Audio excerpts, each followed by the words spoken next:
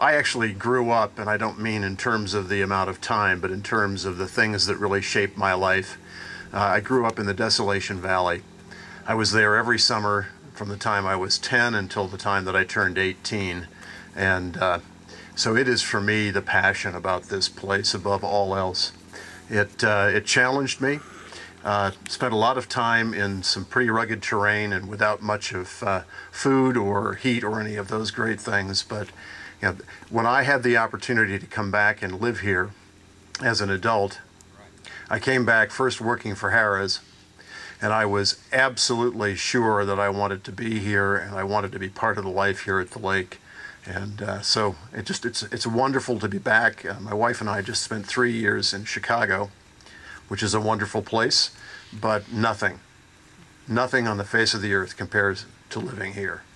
So uh, a little bit about um, about my past and a couple of themes that I heard both Charles and David talking about in particular. My first job uh, as a CFO was with a traffic and transportation engineering company. And one of the first things that I learned was the point that Charles made, and that is the largest source of really vile pollution that exists on this planet comes from automobiles and other motorized vehicles. And uh, so I was the CFO at the college during the time that the science building was constructed, and we had the great fortune to strike a partnership with our good friends at Davis. And uh, when I had the chance to come back, the first thing that I thought about was how do we now capitalize on the existence of that building and that partnership? And how do we, as an institution, really start to lead behavioral change on the part of the people in the basin? Even though I may have to run to catch up with David at this point. But I think there are two things that came up here that to me are centric. One is automobile traffic and one of the things I learned while I was working in the transportation industry is that the biggest source of automobile pollution comes from idle vehicles. And the slower they go, the more damaging they are. One of the biggest problems we have in a place like this is that we all make short trips on frequent bases. And in those short trips, we stop a lot. So, over the course of a given mile, we are actually probably some of the largest polluters on the face of the earth because of those cars. So uh, I was telling some people earlier, when I came back, I inherited a company car. And it was absolutely one of the finest cars that I've ever been inside of. I love the car. It's, it's just a great thing. It is a 5.7 liter Hemi Laredo version of a Jeep Grand Cherokee. Drove it to work a couple of days and uh, was sitting around thinking about the sustainability mission of the institution and what we ought to do to change things. And uh, my good friend, uh, is he here right now? Dr. G, you're there? Yep. Paul came by the office and was just asking in general if I had an interest in electric vehicles and per perhaps doing something to position the opportunity to acquire them in front of some of the students. And it dawned on me that that was a great opportunity to become a thought leader. And so uh, since I was given, thank you very much, the free use on a temporary basis of an electric moped, I have not once, well, I guess I have to confess, one time, I drove that Jeep. It has otherwise been stationary. Um, I ride that electric vehicle every day back and forth to work. Uh, the only time that I use a gas powered vehicle now is to go over the mountain down to Reno if I have to do something, and I use my own personal vehicle, which uses less fuel. And I say that not, not to say it's a grand thing, but as we think about the challenges and we listen to what David is doing in his enterprise, it is often the smallest things that have the greatest impact. And I think it's incumbent upon SNC, if it is going to show its value in this basin, to become a center for collecting the thoughts of individuals and enterprises that are focused on those topics. We had the great fortune of coming into this partnership with our great friends at the University of California. We have to now live up to their being willing to house themselves on our campus by becoming a center for a broader set of initiatives. And that leads me to uh, just mentioning quickly some of our partners. Obviously, UC Davis, first and foremost. Were it not for UC Davis and their willingness to strike this deal with us, across state lines between, between a very large state institution and a very small private institution, and to bank on the fact that we would be around for the long haul. I don't think SNC would have a clear purpose today. We have, as an institution, have now come to four key principles that are our driving core. And they are number one, not surprisingly, preparedness. And that means both of the student to graduate, uh, but as well to, to be prepared for life, career, and all the things that are necessary for them to be successful, rounded individuals.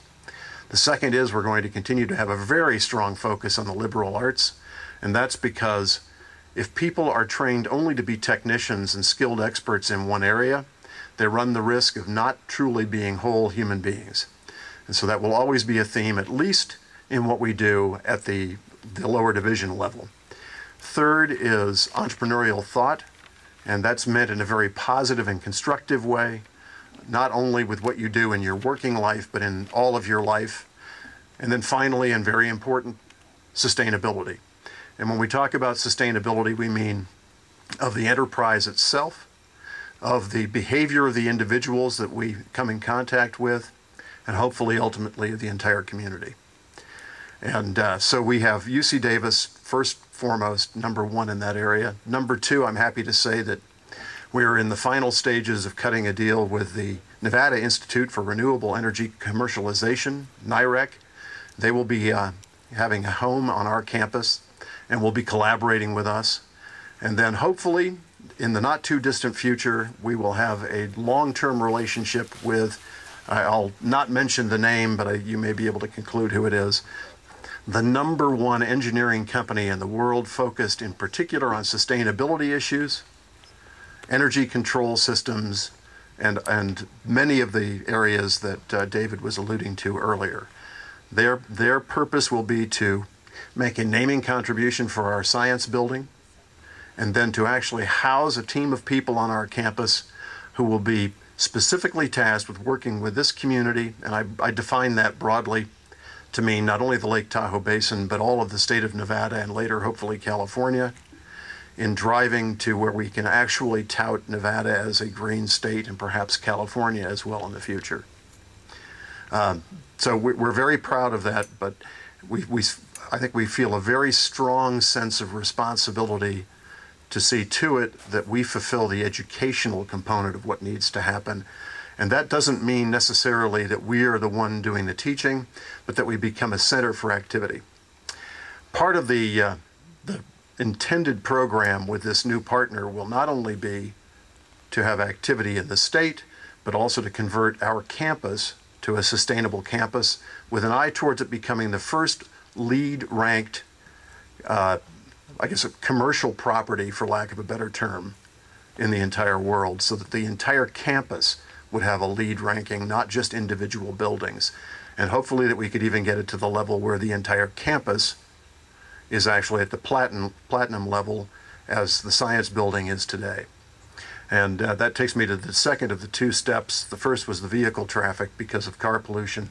Uh, the second is the, uh, the, as we all know, very big issue that our good friends at the TRPA constantly wrestle with, with respect to coverage and the impact of the runoff of the silt and other and dirt that go with the runoff from rain and snow. And uh, a second component of what we're going to be entertaining is actually building a catch basin on the campus so that we are assured that every drop of water that it will run off the campus is first filtered in some fashion. My idea was somewhat simplistic. It probably involved a lot of heavy equipment, uh, Charles actually told me that there may be a way to accomplish that by having a, uh, a small virtual wetlands that would perform that activity, but uh, that we actually make the campus functionally and physically a contributor as well. Um, you may all know that I've only been back in this position for a couple of months. I'm extraordinarily excited to be back. I will always have the pristine condition of the desolation wilderness in the back of my mind as we push to do things. And I hope that we can keep, become a place that everyone here and throughout the entire basin would see as a center for people to come together and talk about the topics that are so critical to all of us.